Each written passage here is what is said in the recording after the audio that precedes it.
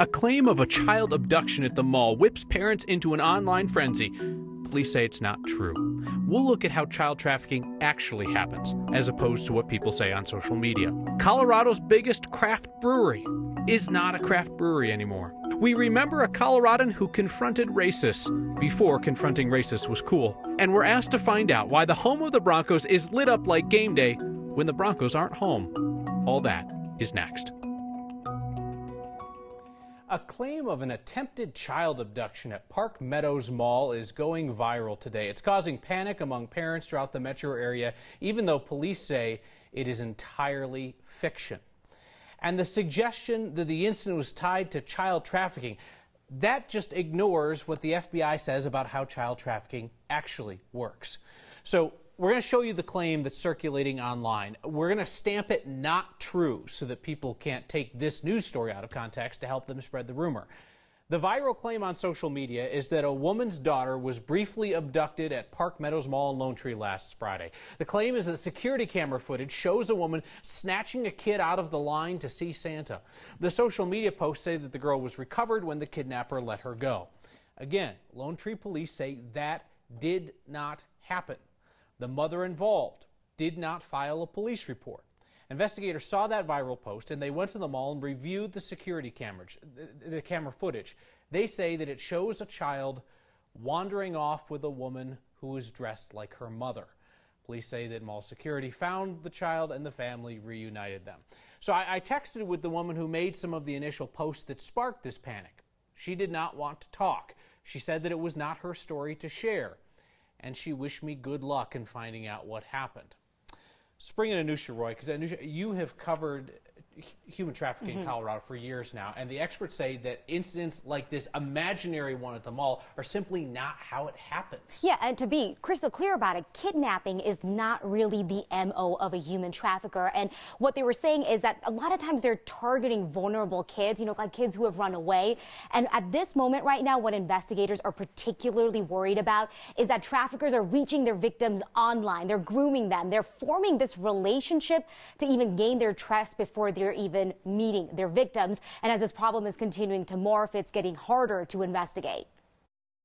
Backpage was notorious for its thinly veiled ads for prostitution. When the Fed shut it down last year, investigators celebrated. It certainly was a good thing around Backpage, but in the short term, there was also some negatives. Now, instead of one popular spot traffickers used and investigators closely watched, Christian Gardner Wood with the Boulder District Attorney's Office said traffickers dispersed online and started using several platforms to target victims. We certainly have seen that more recently, that social media is becoming a um, a place for traffickers to go. Social media and dating sites are all places where traffickers can check photos and read up on a person. Just make sure we don't have any cars visible in that area. This is something the FBI saw in the metro area as recently as this summer. Operations that we do um, also include um, social media operations.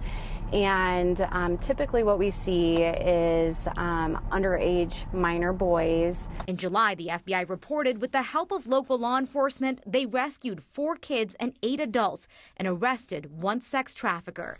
But when it comes to holding an online platform criminally responsible, it's almost impossible.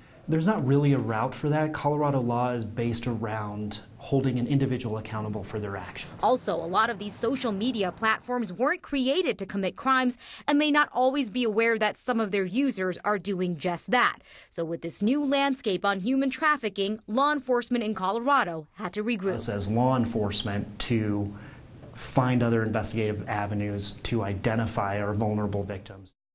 So the one way that a business could get in trouble is through a consumer protection. Essentially, if a company does find out that someone is using their online platform for trafficking and then allows it to continue, that is when they can get in trouble. So of course, with this story comes a familiar line, right, of paying attention to what your kids are doing online and of course checking those privacy settings as well. We want parents to be vigilant everywhere, but I, you just hope that people aren't terrified to go into public spaces because No. of imaginary kid snatchers and then get Johnny home and just let him go up to his room and do whatever online. No, exactly. And, and this is these kind of viral posts, they've happened before and they have been disproven before. And so the real area where investigators would ask people to pay attention to is, is what their kids are doing online. All right. Thank you, Nusha. The Environmental Protection Agency downgraded the metro area's air quality this week. Democratic Governor Jared Polis invited them to do it, said that Colorado no longer wanted to claim an exemption, that some of the pollution was blown in from out of state. Last week, particulates again rained down on neighborhoods near the Suncor plant on the north side of town. Today, the governor said he would like to see those incidents dealt with differently. We too would love to see uh, additional action and support for air quality monitoring around these events. One of our important budget requests, you know, John, John asked about what's important. It's a it's a relatively modest amount in the scheme of things. I think it's you know 2.7 million, but very important for the Air Quality Control Commission to be able to do this work uh, around emissions. The EPA's downgrade of our air quality rating is going to force the state to cut down on, on smog. It comes from cars, the oil and gas industry, and a number of other sources. Former Colorado Eagles hockey player Akim Aliu says he does not want the team manager fired for dressing up as him in blackface. The manager made a recent apology for dressing up as Aliu at a team party in 2011. The photo just came out last week. This comes at a time when professional hockey is dealing with issues of racism in the sport. Aliu is a, a leading voice in that conversation. It actually led to the firing of an NHL coach recently. That is Eagles equipment manager Tony Denizer, who was put on leave for the blackface incident. Aliu and the Eagles put out a joint statement today saying that Deiser offered an emotional apology and Aliu accepted it. The city of Lafayette is trying to right a historical wrong tonight. Families of color raised money to build that community's original pool, and then they were not allowed to swim there. Tonight, the city is renaming the current community pool after a woman who led that fight against racism and also spoke out about the role of the KKK in the 1930s. Our Sonia Gutierrez has the story of Rosa Lovato Lueras. In 1989, the city broke ground on the Bob Burger Recreation Center, which was a brand new recreation center. It was supposed to be a place where beautiful memories are made.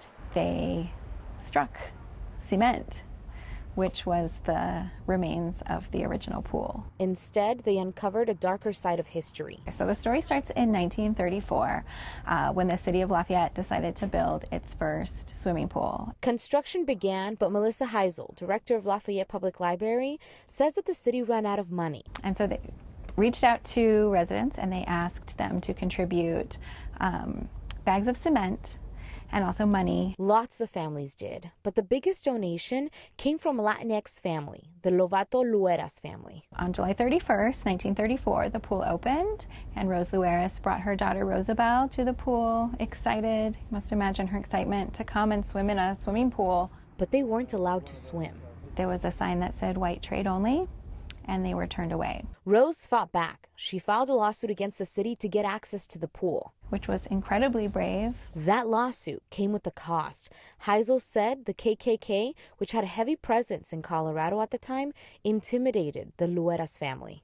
Rose was presumably just terrified, and she and her daughter relocated to California, where she was ran over by a car and killed just weeks before the trial.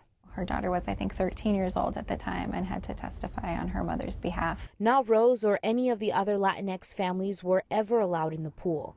Instead, the pool, that had only been open for two weeks, closed and it was filled with dirt.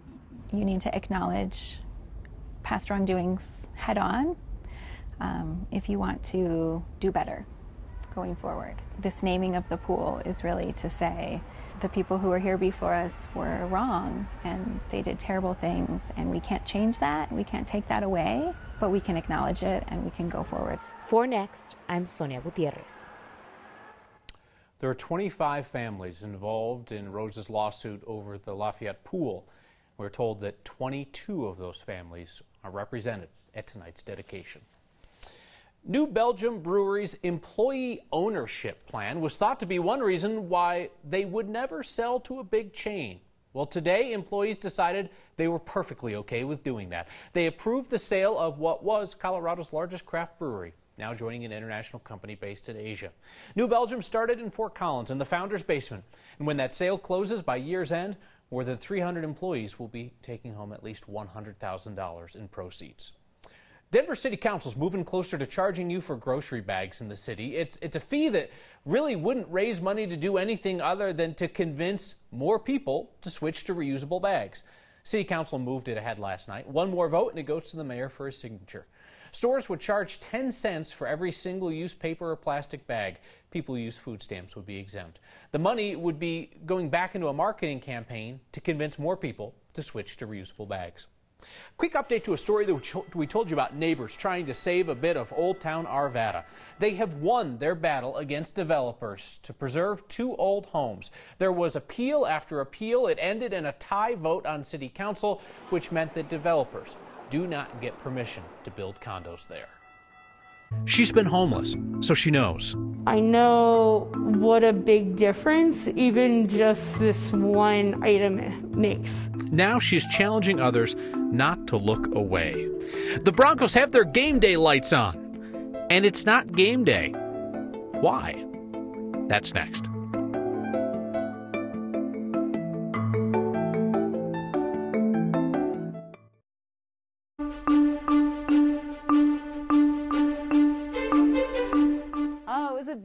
Day today with sunshine. Temperatures were 10 degrees warmer. As a matter of fact, our high was 42. Sometimes it's okay to be average. How about that? 10 degrees warmer tomorrow. We have winds out of the southwest ahead of a storm that's just now moving on shore in California. Our storm that moved through over the weekend is well off to the east, creating all kinds of problems for travelers. Washington, Boston, New York. Meantime, here in the nation's midsection, high pressure, the dominant feature, keeping the storm track to the north. This system will come in as more of a wind shift for lower elevations with a brief mountain snow shower. We're dry and cold again tonight with fair skies. Our low at 19. Tomorrow, sunny and 52 degrees. Temperatures just a smidge cooler on Thursday, but still dry when the front rolls through. Warmer Friday. How about 60 in December for Saturday and Sunday. Slight chance of a snow shower Tuesday night into Wednesday. Wouldn't that be nice? And I love the dog days of winter. These beautiful pups up at Squaw Pass today with their mom, Jennifer Mitchell. Our next question actually comes from our director, Lawrence, who pushes the buttons to get the show on the air every night. He was wondering why the Broncos Stadium has been lit up on a few nights when the team is not playing at home. Now, tis the season for holiday parties, so we had a hunch that might be it. We reached out to the Broncos and they confirmed they light up the stadium for holiday parties and for private events and the club levels. They light up the entire stadium because some of the parties have games that involve the field level and the scoreboard. If your uncle on Facebook has convinced you that climate change is a hoax, perhaps you would also be interested in the viewpoint of birds. Because their migration patterns acknowledge our rapid, rapidly changing climate. CSU assistant professor Kyle Horton and his team looked at decades of radar imagery, and they found birds migrating in spring are reaching stops along their way earlier than they did 20 years ago. They also found that temperature and migration timing are closely aligned. This study is one of the first to examine the impacts of climate change on migration, looking at a whole continent.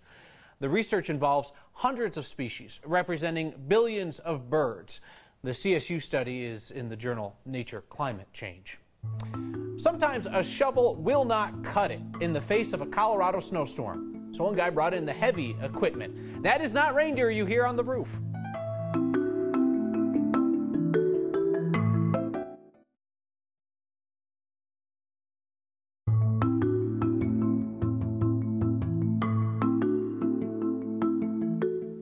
Have you looked away? You pulled up to a street corner someplace and come face to face with somebody's holding a sign asking for money. Looked away?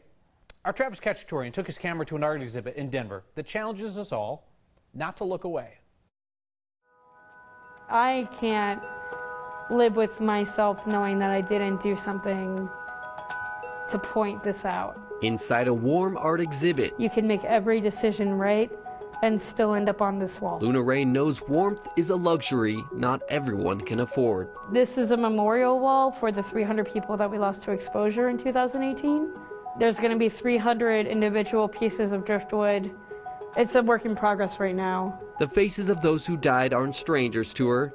She experienced homelessness herself and knows the stigma that comes with it. So people are experiencing a loss of humanity as well as a, a loss of the empowerment to get out of this. Her new art takes their struggle and puts it on display. One of the most effective ways I've found to get people to really put themselves in other people's shoes is asking them directly how they would feel in certain situations. There is something historically disconnected to me about a first world country that ha can have 300 people dying of exposure in a single year in a single city. There is something completely disconnected about that that I can't grapple with in any other way but to try to honor them and to try to bring to light what that means. That exhibit will be on the taxi campus in Denver through the end of the month. Luna wanted us to mention the, the face mask wasn't a fashion statement or anything. She just had dental surgery. The most Colorado thing we've seen today is a ski resort that knew that sun was not going to remove the snow from their roof, and it would have taken so long with a shovel. So a contractor at Keystone broke out the snowblower. Next viewer named Chuck snapped this photo of him at work. Keystone told us they typically are not using snow blowers for snow removal on the roof, but that last storm dropped a few feet of snow, so they decided to break out the big gun, so to speak. Share the most Colorado thing you've seen using the hashtag HeyNext or email next at 9news.com.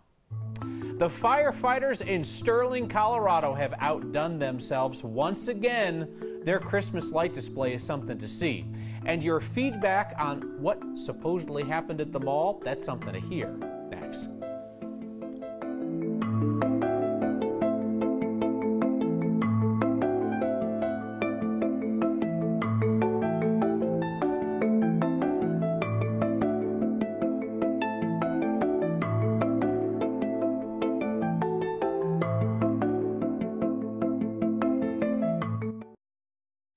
You think you and your kids get excited for Christmas? Well, not as much as the firefighters out in Sterling. 2017, they went big. They synced up the lights on their fire trucks to Christmas music and shared the video online. 2018's video was straight fire. You had the trucks, you had the music, you had the lights, and you also had pyrotechnics. There they go. This year, they told a whole Christmas story. They've got the Grinch breaking into the Sterling firehouse, you know, stealing stuff, you know, you know, like, like the Grinch does. But then the Grinch, you know, he's also into arson, and they don't look kindly on that up there in Sterling. So this year's video shows the Grinch lighting a Christmas tree on fire, and the firefighters rushing to put it out. It ends with the Grinch in cuffs. If you want to see it, we'll put it on the next Facebook page for you. They go big in Sterling. Diana Bauman writes in tonight about our debunking of that social media rumor about a child abduction at the mall. She said, kudos for that story. Though our local anti-trafficking coalition is working hard to educate, viral hysteria like that only makes real education efforts harder. Appreciate all of those efforts. And again, the problem is real enough that the hype does not help. We'll see you next time.